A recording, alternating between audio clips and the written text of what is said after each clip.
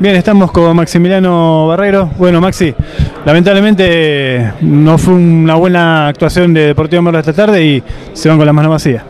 Sí, no sé si fue tan mala. Creo que hoy Merlo jugó bien, se plantó muy bien en esta cancha, muy difícil, con un rival bastante bueno, está bien plantado, se conocen mucho los, jugadores de, de Almirante. Creo que arrancamos de la mejor manera. Un error nuestro lo pagamos caro y, y está reflejado en el resultado, ¿no?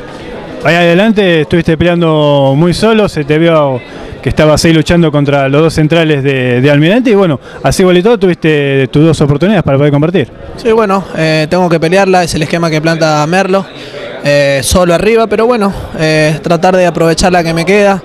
Hoy el palo me dijo que no y, y la verdad me voy con un sabor amargo porque hoy Merlo dejó todo para por lo menos llevarse un empate de esta cancha, ¿no?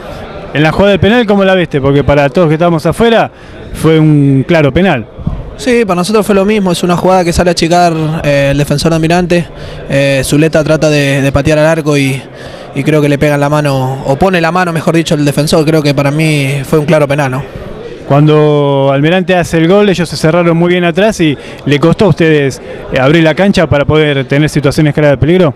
Sí, bueno, es todo por el, también el sistema que, que juega Merlo con un solo delantero arriba. Creo que se hace más difícil penetrar una defensa bien armada que se conoce. Eh, y bueno, quedó reflejado que, que no lo pudimos eh, convertir en ningún gol ya que se cerraron muy bien atrás, ¿no? ¿Te gustaría que un compañero más adelante, como para que la tarea tuya sea un poco más compartida y poder tener eh, situaciones más claras de peligro? Sí, o, bueno, sí, la verdad que uno está acostumbrado a jugar con dos puntas. Hoy el técnico prefiere jugar con un solo punta y esperemos que salga de la mejor manera y si vos me preguntás a mí, yo creo que, que sí, me gustaría jugar con un delantero más arriba para, para tener un poco más de compañía, ¿no?